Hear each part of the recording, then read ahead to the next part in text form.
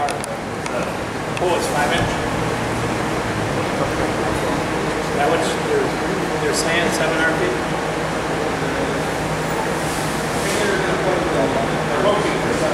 There is a diagram, if it's spec'd out for seven hundred, there is a diagram to show you how to get seven hundred, but they're probably gonna recommend that lay flat hose.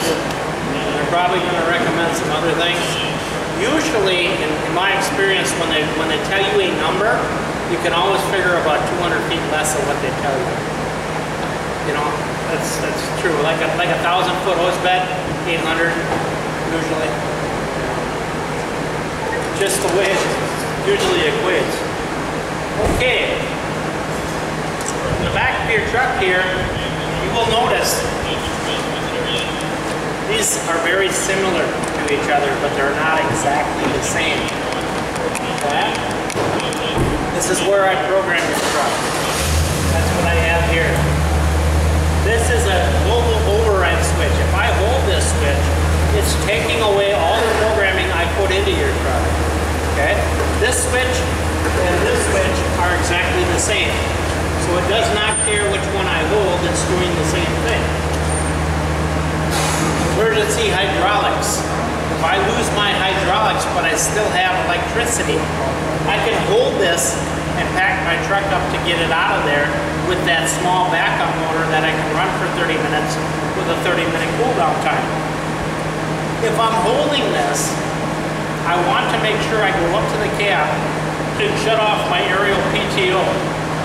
Reason being is your main hydraulics runs at 3,350 pounds of pressure. This runs at 2,500. The big one's gonna win. You will burn out the small pump by running both of them together. Level assist. This, in my opinion, this switch should be here. This switch should be up here. Because when you set up a truck, you do not hold this switch at all. You would think you would, because if I'm looking at it and I want to set up my stabilizer, I would think that's natural. But no, we never hold that one. Okay? So at least they could have numbered for you, right? One, you run it out. Two, you lower it. Okay? Three, you hold this one. This is just for after the fact if you need to make adjustments. Or when you're putting it away. This one must come up first when you put it away. In what situation do you make an adjustment after the auto level did its thing? Not so much here, but like I just came from Asheville, North Carolina. It's all mountains. So their truck, same truck. They get on a hill that's 12 degrees. They get and they reposition the truck and it only brings them to here to operating. But they can still go a little more, get in the green. Uh, they can make that adjustment afterwards. Or if they need to tilt their truck at a certain angle. Let the truck set itself up, then make your adjustments afterwards. All right.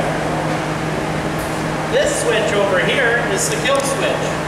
Remember, this is the one that that little bugger is going to hit, and he's going to leave you dead in the water. You must turn it in the direction of the arrows to get it to operate again.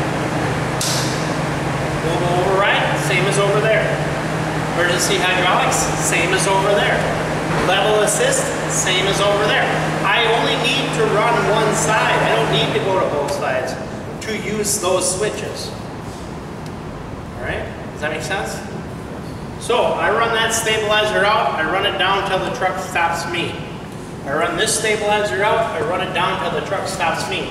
Then I go to either one of the panels and I hold the level assist switch. That's all I do. I don't touch this one until I'm ready to pack it up or make an adjustment to it. That is confusing if you're looking at it, though I get that. From a firefighter standpoint, I think that's the dumbest design in the world. I didn't design it. I just got to teach it. so, I get it. I understand that. It doesn't make sense. These are your global overrides for your hydraulics. So if you should lose electricity and you need to pack this truck up, this is like pulling the handle of a log splitter. If you don't know what a log splitter is, it splits logs. You pull the handle, it moves. Does what you tell it to do, right? So if I'm pulling a handle here, it's gonna move. Nothing is gonna stop it. So if I'm rotating the ladder and it's at a low angle and I'm coming in from the side, it's gonna continue and it's gonna hit the side of the truck because there's nothing stopping it. You're telling it it's okay to do that. You're giving it the fluid to do what it's supposed to do. The programming is not gonna stop it because this doesn't go through the computer. This is just pure hydraulics. Okay? So when you're in here, remember, you can wreck stuff. There's nothing gonna save you. Okay. To make it worse, these are all your stabilizer controls. these are your aerial controls. So they give you the running of the aerial down here where you can't see anything. Nice. Right? They do require somebody to be up on top though and holding a switch to make this work. But still, I don't know. Not, not the best design in the world. Okay. You do have one grease zerk in here. That'd be for you. That grease zerk is for the inner bearing. There's that great big tooth bearing up there. It's an 80 ton bearing. It'll support 80 tons of weight. Grease the outside of it with that black moly get on your clothes, never get out grease, right? Grease the inside, two tubes of grease every six months. You'll need somebody up there rotating the ladder as you pump grease in here till it comes out the wiper seal on the big bearing. You using white lithium or? No, or that black, that black moly again, yeah. There is now a port to check the hydraulic oil and pressure here. We didn't used to have that, we've added that. These red caps, if I were you, I would cut these loops right off. Every service call I've ever been on where the ladder stopped moving has been, this gets wrapped around this. And it will do that on its own. You'll be riding down the road, and all of a sudden that thing will wrap around there and this lever won't move anymore. So either tie them up with a, with a tie wrap or cut them off totally. Because they're gonna cause you problems. You'll be up in your bucket trying to retract and it won't do anything because this handle's down there and it's trapped. You can't move. Okay? This is your emergency hydraulics. Yeah. So when you're up there, these still move, but because of the electronic impulse, so these valves are always in Always moving, Okay, that yep. When I, even when I run the stabilizers, I run this out, that lever will move. Okay, okay. This is just electric over hydraulic. That valve moves. The only thing that's different between the two of them is this signal passes through the computer and it says, hey, if my stabilizer's on the ground, this one will not let that lever move. But if I grab the lever, it'll move. Bartek Bravo, Okay. rescue 35. Y'all good with that? Team.